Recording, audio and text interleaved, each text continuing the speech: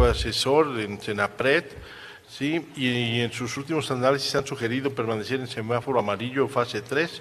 Así es que es bien importante comentar que no debemos de inquietarnos, seguiremos informando cada detalle a través de medios oficiales y quien está al frente de todo este accionar es la Secretaría de Gobernación. Así es que, secretario Julio Huerta, por favor, buenos días a todos los compañeros secretarios, por favor, secretarias, bienvenido.